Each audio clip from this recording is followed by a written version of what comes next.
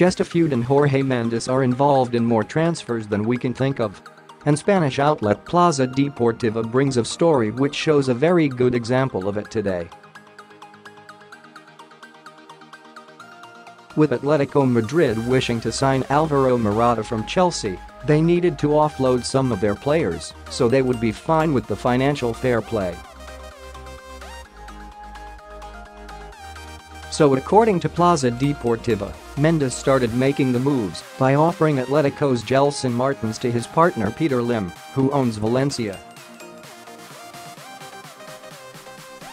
Meanwhile, he tried helping Valencia with two other deals. First, by sending Michy Batshuayi elsewhere, he tried to make the player sign for Monaco.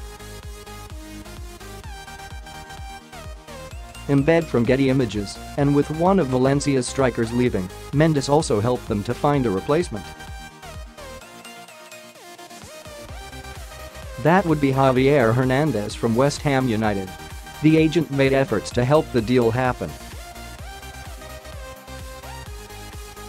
Long story short, the only transfer which succeeded was Alvaro Morata's to Atletico Madrid. Gelson Martins ended up joining Monaco, who tried and failed to sign Bathuseye from Chelsea.